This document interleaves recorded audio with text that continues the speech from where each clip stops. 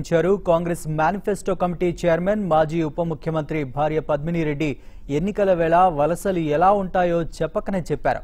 ఉదయం కాషాయ కండువా కప్పుకున్న ఆమె సాయంత్రానికి మనసు మార్చుకున్నారు. తన భర్త మనోవేదన చూడలేకపోతున్నానంటూ సాటి మహిళగా తన అంతరంగం బయటపెట్టారు.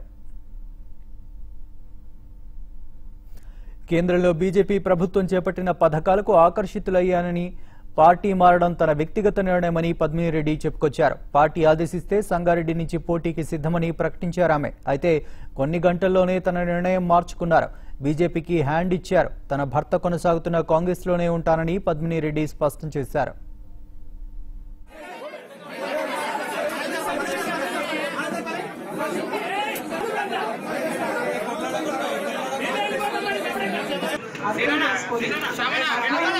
బాగా వాళ్ళ మనోవేదనని అర్థం చేసుకొని తీసుకుంటున్నాను ఇంత రియాక్షన్ ఉంటుందని నేను అనుకోలేదు. అనుకోకుండా చాలా వాళ్ళ బాధ నేను చూడలేకపోతున్నాను వెనక్కి తీసుకుంటున్నాను.